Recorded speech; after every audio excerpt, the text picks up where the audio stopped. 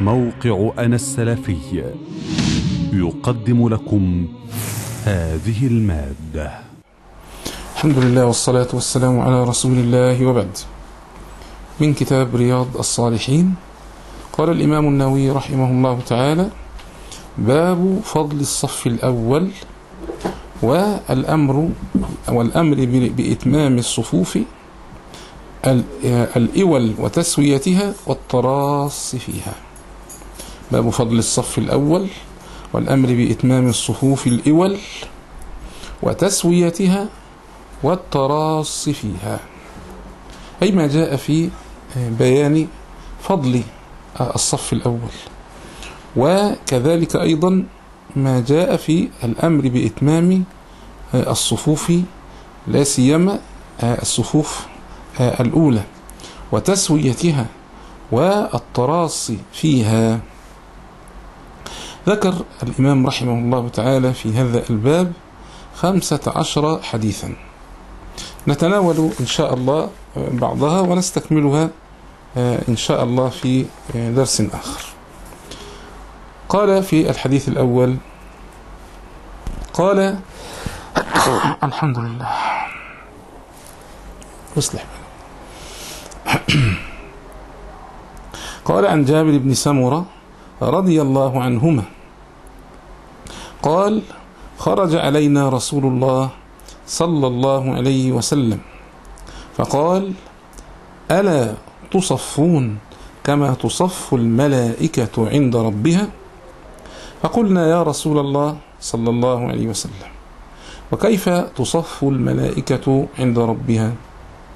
قال يتمون الصفوف الأول يتمون الصفوف الأول ويتراصون في الصف. يتمون الصفوف الأول أو الأول ويتراصون في الصف يعني الأول فالأول الأول فالأول ويتراصون في الصف.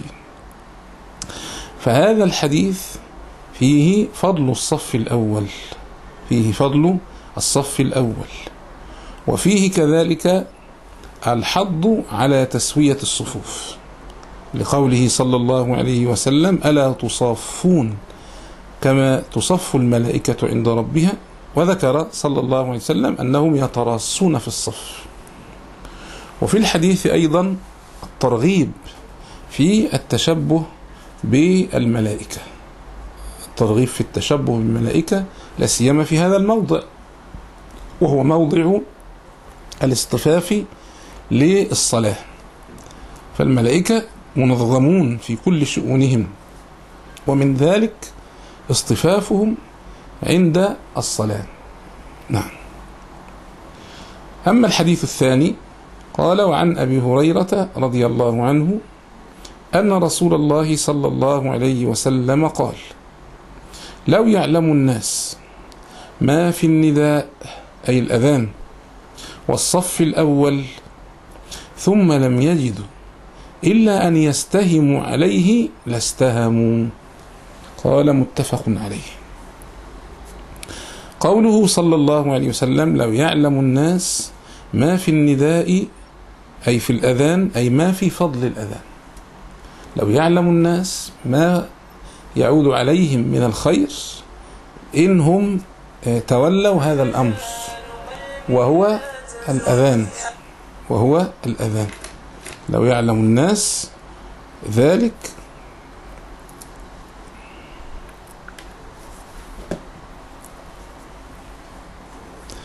أي لو يعلم الناس فضل هذا العمل وهو التأذين. وسبق هذا قبل ذلك. قال والصف الأول. لو يعلمون أيضا ما في الصف الأول من الفضل أي في فضل يعني الوقوف في الصف الأول في الصلاة. هذا فضله عظيم. لو يعلم الناس هذا الفضل ثم لم يجدوا إلا أن يقترعوا عليه لاقترعوا هذا معنى أن يستهموا عليه.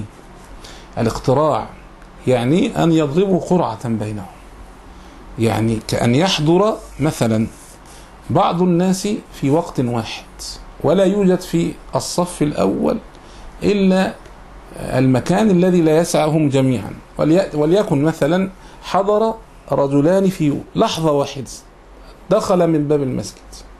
كل يريد أن يقف في الصف الأول وليس في الصف الأول إلا مكان لرجل واحد. هنا يشرع ويجوز لهم أن يقترعوا أن يقترعوا. وهذا الحديث ونظائره يعني جعل بعض أهل العلم جعل بعض أهل العلم يقول بأنه لا إيثار في العبادات لا إيثار في آه، العبادات. ويحتجون بمثل هذا الحديث مثلا قال لو يج... ثم لم يجدوا إلا أن يستهموا عليه. لاستهموا. يعني إنه قد يقول قائل إذا دخل الرجلان وليس في الصف الأول إلا مكان لرجل واحد. ألا يؤثر أحدهما الآخر على أخيه؟ يقول له مثلا تفضل أنت. مثلا هذا الحديث يستدل به بعض العلماء على عدم جواز الإيثار في العبادات. ويقولون لا ده هو النبي صلى الله عليه وسلم قال فإن لم يجدوا إلا أن يستهموا عليه لاستهموا. وعليه فلا يترك المكان لصاحبه. وإن أصر كل منهما على المكان عند ذلك يقترعان. لكن هذا الكلام في الحقيقة ليس على إطلاقه. ليس على إطلاقه. فقولهم لا إيثار في العبادات ابتداء هذا ليس نصا لا قرآنيا ولا حديثا. بل ليست هذه قاعدة مثلا مسلم بها. وإلا قد جاءت بعض الشواهد على جواز الإيثار في العبادات ونحو ذلك. على جواز الإيثار في العبادات. والأمر فيها واسع. لا سيما لأصحاب الفضل. مثلا ويعني الكبير ونحو ذلك. من الممكن أن نؤثره في مثل هذه الأمور. لا سيما إن كان مقدما كإمام مثلا الناس ككبير في الناس ونحو ذلك. فالأمر فيه سعة والله أعلم. فيه سعة والله أعلم. إلا أن الحديث أيضا فيه الحض على يعني التنافس على الصف الأول. التنافس على الصف الأول. إذا فالحديث فيه فضل الصف الأول. إذ أن هذا يعني يصل الأمر فيه إلى الاقتراع. وأيضا في الحديث جواز أو مشروعية الاقتراع. يعني البعض أحيانا ممكن يظن أن مسألة الاقتراع دي لا تجوز أو نحو ذلك. فيها ميسر ميسر هذا إذا كان تعلق بها ميسر. إنما الاقتراع لا بأس. يقترع بأي شيء بحجر بورق بعملة بأي شيء لا بأس. يعني ممكن يجيب عملة ويقترع بها. يعني يرمي العملة كده تنزل على أي وجه اختاروا واحد من الاثنين لا بأس. إن يخترعوا بأوراق يكتبوا في ورق مثلا فلان ورق فلان وبعدين يرموها يطلعوا يطلع فلان. هذا اقتراع أيضا. يقترعوا بأي يعني صورة من الصور ما لم يكن فيها شيء محرم. وفي الحديث أيضا أسلوب التشويق عند الدعوة والتعليم. وشاهده قول النبي صلى الله عليه وسلم لو يعلم الناس ما في النداء والصف الأول إلى آخر الحديث. لو يعلم الناس هذا فيه إثارة للنفوس وتشويق للنفوس أن تكون من أهل هذا العمل. قال وعنه قال قال رسول الله صلى الله عليه وسلم خير صفوف الرجال أولها وشرها آخرها وخير صفوف النساء آخرها وشرها أولها. قال رواه مسلم. خير صفوف الرجال أولها وشرها آخرها وخير صفوف النساء آخرها وشرها أولها. كل هذا فيه الترغيب في الصف المقدم. قال خير صفوف الرجال أولها وشرها أي أقلها فضلا وأجرا الصف الأخير. نسأل الله العافية. بعض الناس من المسلمين يتنافس على الصف الأخير. يعني البعض يتنافس على آخر صف في المسجد. والصحيح أن, أن الإنسان يتنافس على الصف الأول. خير صفوف الرجال أولها.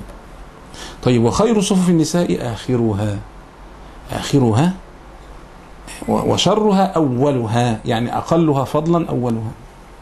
لكن هذا الكلام وهذا الحديث مصروف إلى الصورة التي كانت أو تكون مثل ما كانت في هذا الوقت الذي قال فيه النبي صلى الله عليه وسلم وهو أن صفوف الرجال كان من ورائها مباشرة صفوف النساء من غير حواجز.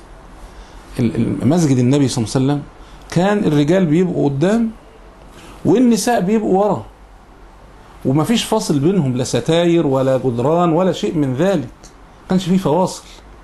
وعليه آخر واحد في الصف من الرجال لو التفت وراه هيجد نساء وراه. وأول صف في النساء سترى الرجال. بخلاف آخر صف في النساء. آخر صف في النساء مستورة. لا يراها الرجال ولا ترى هي الرجال. ولذلك كان آخر الصفوف في النساء أفضلها. وآخر الصفوف أو أول صفوف النساء أقلها فضلا. لكن هذا كما أشرنا إذا كان يوجد الإيش أو لا يوجد حواجز. أما مع وجود الحواجز ونحوها كما هو مثلا يعني متبع في بعض المساجد خصوصا في زماننا إن نجد النساء لهم مكان لوحدهم منفصل. أو في ساتر فاصل بين الرجال والنساء يبقى يعود الأمر إلى الأصل. خير الصفوف مطلقا بقى رجال ونساء.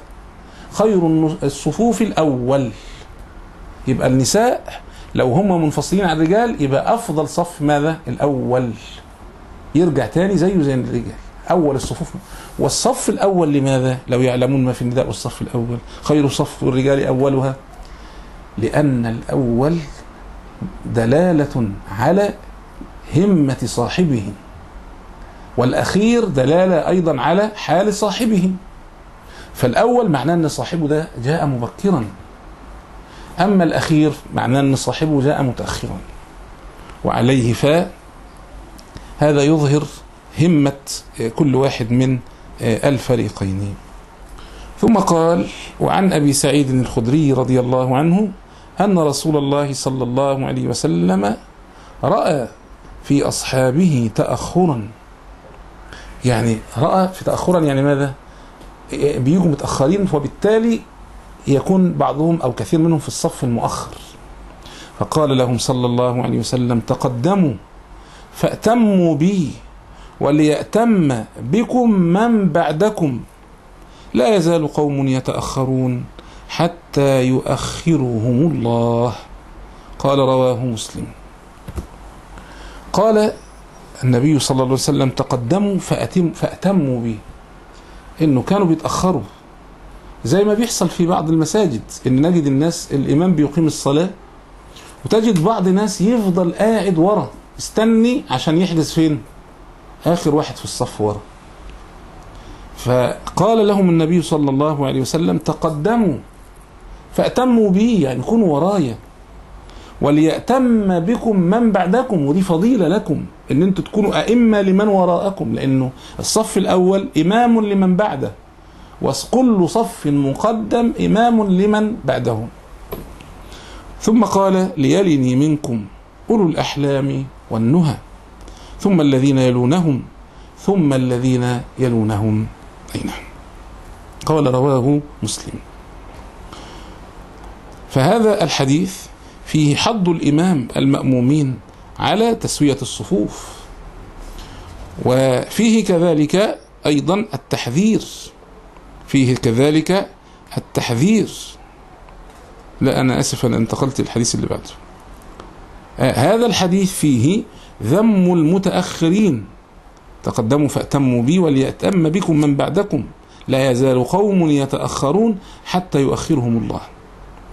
ففيه فضل الصف المقدم أولا. فيه فضل الصف المقدم. وفيه ذم المتأخرين. لا سيما مع وجود مكان بالصف الأول. وكذلك لا يشترط للجماعة رؤية الإمام. يعني إن بعض الفقهاء اشترط في صحة الجماعة رؤية الإمام رؤية الإمام. وهذا غير صحيح لأن الصفوف المؤخرة تأتم بالصفوف المقدمة. وعليه فإذا كان الإنسان يرى الصفوف فإنه يدرك الجماعة يدرك الجماعة. وعليه حتى العلماء في يعني كل زمان تحدث أو تكون هناك أشبه بالنوازل أمور. فيفتون فيها مثل مثلا في هذا الزمان مثلا نجد عند الحرم مثلا حوالين المسجد الحرام نجد هناك الفنادق الكبيرة هذه. هذه الفنادق الكبيرة بعضها فيه مساجد. بعضها فيه مساجد الفنادق اللي هي آه، مطلة على ساحة الحرم. نجد بعضها فيه مساجد في دور من الأدوار يعني فيه مساجد. فهذه المساجد بتجد إن الواجهة بتاعتها زجاجية. والناس في هذه المساجد يرون الساحة. يعني يبقى واقف في المسجد شايف الساحة ساحة المسجد الحرام وشايف المصلين. والصوت كذلك يصل إليه. فهذا يدرك جماعة الحرم. هذا يدرك جماعة الحرم. لا سيما إذا كانت هذه الصفوف تصل إلى الحدود التي هو فيها. الحدود التي هو فيها يعني مثلا لو الفندق هكذا والناس واصلين بالساحه لغايه حدود الفندق يبقى هو مدرك كده للجماعة. فضلا إن الناس يكونوا نازلين تحت. يعني الفنادق دي في بعضها تحت منه بيبقى فيه أسواق ونحو ذلك. هذه الأماكن ساعة الصلاة كلها بتتفرش. الأسواق اللي تحت في الدور الأولاني دي في الأرض بتتفرش الناس بتصلي كلها فيها. وعليه هذه المساجد تدرك بها الجماعة. ليه؟ لأن هم شايفين الجماعة. والجماعة وصلت عندهم. وصلت عندهم وسامعين صوت الإمام. وسامعين صوت الإمام. ثم قال وعن أبي مسعود رضي الله عنه قال كان رسول الله صلى الله عليه وسلم يمسح مناكبنا في الصلاة. ويقول استووا ولا تختلفوا فتختلف قلوبكم ليلني منكم أولو الأحلام والنهى ثم الذين يلونه يلونهم ثم الذين يلونهم. قال رواه مسلم. قال كان رسول الله صلى الله عليه وسلم يمسح مناكبنا في الصلاة. يعني منكب الإنسان هذا المكان. فالصحابة لما يقفوا يقوم النبي صلى الله عليه وسلم يمسح المناكب يسويها يعني. المناكب مستوية ببعضها مستوية ببعضها. يبقى كل واحد كتفه في كتف أخوه. نعم. ويقول استووا النبي صلى الله عليه وسلم. ولا تختلفوا فتختلف قلوبكم. ما يبقاش واحد طالع وواحد داخل. ليلني منكم أولو الأحلام والنهى. يعني ليكن ورائي منكم أصحاب العلم وأصحاب الفضل. أصحاب العلم والفضل الحافظين الحفاظ أصحاب الفضل والمكانة بين الناس. لماذا؟ حتى إذا استخلف الإمام يكون هؤلاء هم الذين هم وراءه أهل للإمام أو هؤلاء يفتحون على الإمام إذا تعثر في القراءة أو نحو ذلك. ولذلك هذا المكان الذي خلف الإمام ما ينبغي أن يقف فيه أي أحد من الناس لا. ولا يقول بعض الناس أنا جيت الأول. نعم أنت حضرت فعلا الأول. لكن ينبغي أن يكون خلف الإمام أهل العلم وأهل الفضل. يكونوا هم دول اللي ورا الإمام. لأن دول هيخلفوه دول اللي هيصححوا له الصلاة ونحو ذلك. نعم. استدل به العلماء الذين منعوا وقوف الأطفال والصبيان في هذا المكان أيضا. قالوا لأن النبي صلى الله عليه وسلم قال وليالني منكم أولو الأحلام والنهى. نعم. قال ثم الذين يلونهم ثم الذين يلونهم. فهذا الحديث فيه حض الإمام المأمومين على تسوية الصفوف. يقول استووا صلى الله عليه وسلم. فهذا حض لهم على أن يسووا الصفوف. وفيه أيضا التحذير من عدم الاستواء لأنه علامة على اختلاف القلوب. نسأل الله العافية. إن لو الناس واقفين في الصف مش منظمين ده دليل على إن قلوبهم مش متفقة. وسبحان الله. صدق النبي صلى الله عليه وسلم. بل والله أكاد أقول أن هذا من دلائل نبوته صلى الله عليه وسلم. يعني هذا الحديث من دلائل النبوة. فإن النبي صلى الله عليه وسلم يقول لا تختلفوا فتختلف قلوبكم.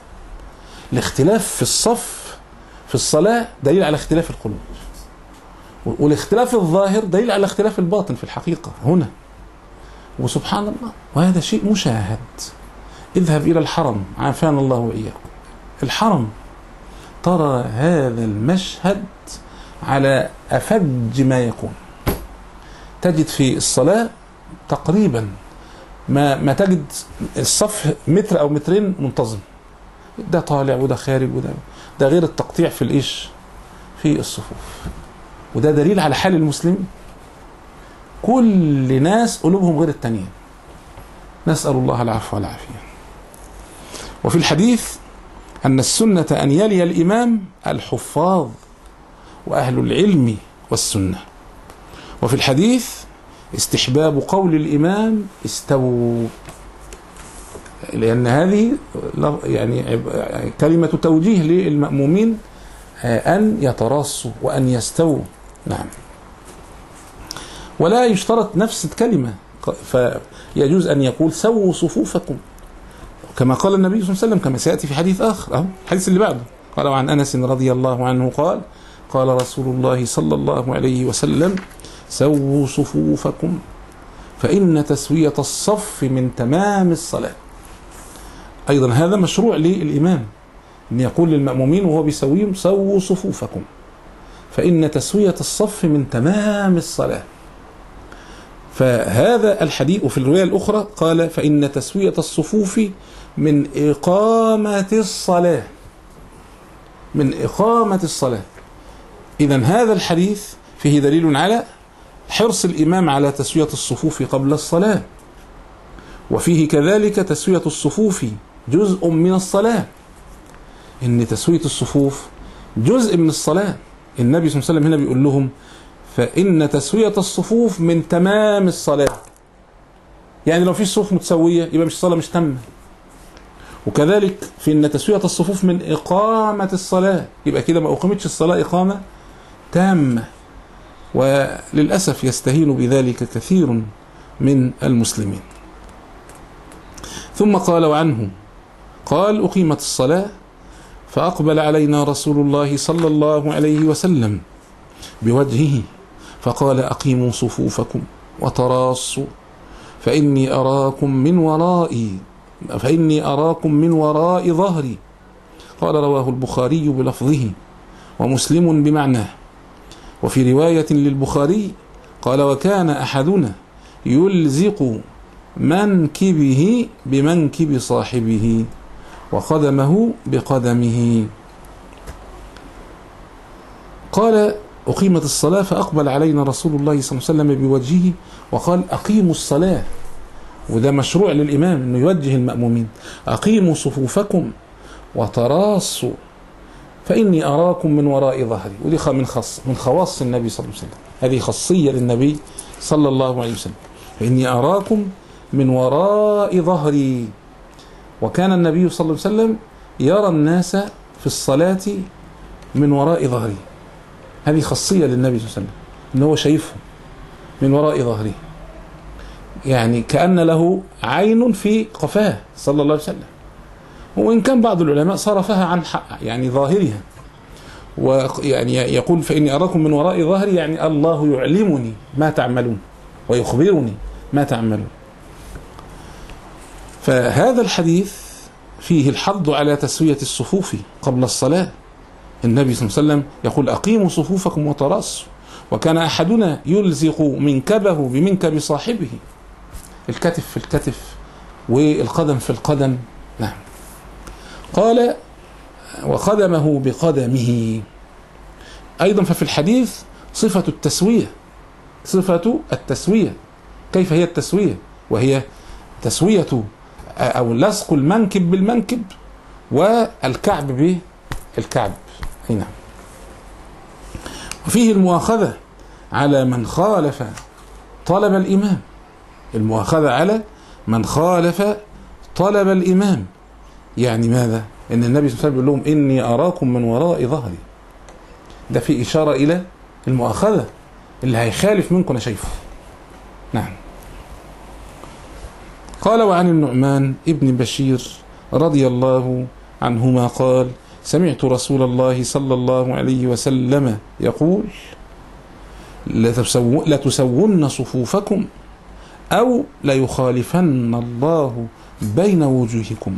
وفي رواية لمسلم أن رسول الله صلى الله عليه وسلم كان يسوي صفوفنا حتى كأنما يسوي بها القداح حتى رأى أن قد عقلنا عنه ثم خرج يوما فقام حتى كاد يكبر يعني خلاص هيكبر للصلاة فرأى رجلا باديا بصدره من الصف فقال عباد الله لا تسون صفوفكم أو لا يخالفن الله بين وجوهكم وفي اللفظة الأخرى بين قلوبكم. فهذا الحديث فيه الحض على التسوية في الصفوف. وأيضا في الحديث أن عدم التسوية تؤثر على وحدة القلوب. واتفاق النفوس عدم التسوية تؤثر. على وحدة القلوب واتفاق النفوس في المصلين. نسأل الله العافية. وفي الحديث الرد على من يهون من السنن. الرد على من يهون من السنن. البعض تقول له مثلا الشيء الفلاني يقول لك ده سنة. وقد يكون حتى واجب كمان الشيء لكن لو فرضنا انه سنة يقول ده سنة. طب ما هي سنة أهي. لا تسون صفوفكم أو لا يخالفن الله بين قلوبكم. إنه هذا فيه رد على من يهون من السنن. إن شوف مخالفة السنة هنا هتؤدي إلى ماذا؟ نعم. ولذلك هذا فيه إشارة أيضا ولو من بعيد إلى حال الأمة. إذا كان الاختلاف في الصفوف في الصلاة يؤدي إلى اختلاف الناس في يعني قلوب المسلمين المصلين.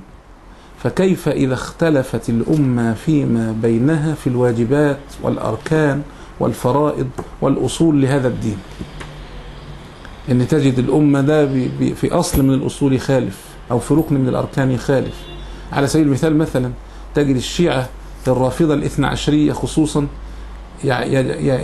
يقولون بني الإسلام على ست.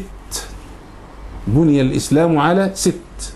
الحديث المعروف واللي نقلوا كل علماء الحديث خمس. هم ست عندهم. إيه الست السادس بقى؟ وده أهم كمان من كل الأركان السابقة. الولاية. الولاية. ولاية يعني آل البيت. هذه ركن من أركان الإسلام هي أعظم الأركان. وبعضهم من الجهلة منهم يقول هي أعظم من الشهادتين. والعياذ بالله. طيب إحنا هنقف على هذا القدر إلى المرة القادمة إن شاء الله تعالى. أقول قولي هذا وأستغفر الله لي ولكم والسلام عليكم ورحمة الله. قل هذه سبيلي أدعو إلى الله. على بصيرة أنا ومن اتبعني وسبحان الله وما أنا من المشركين.